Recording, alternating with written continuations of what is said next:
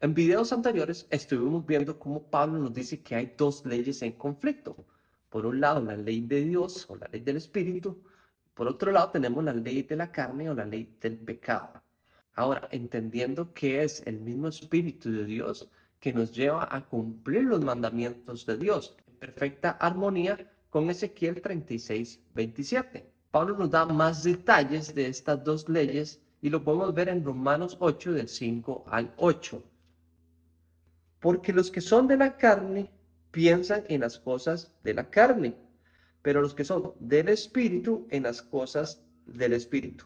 Porque el ocuparse de la carne es muerte, pero el ocuparse del espíritu es vida y paz.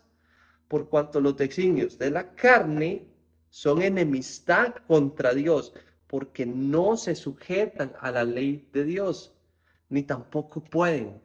Y los que viven según la carne no pueden agradar a Dios.